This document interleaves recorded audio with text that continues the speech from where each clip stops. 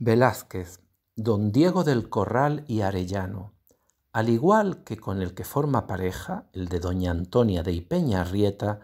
este retrato del que fuera segundo marido de ésta, don Diego del Corral, también ingresó en el Prado por donación el año 1905, siendo asimisma muy discutida la posible fecha de su ejecución, entre la segunda mitad de la década de 1620 o la primera de la siguiente.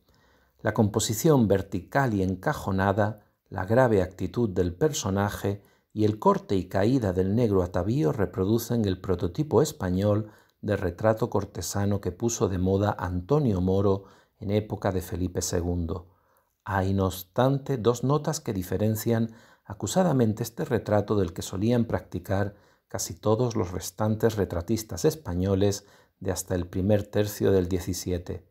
Por un lado, la expresiva fuerza del grave rostro del que fuera un alto funcionario, así como la belleza, complejidad y fluidez de la negra vestimenta y en general del uso del color en el cuadro,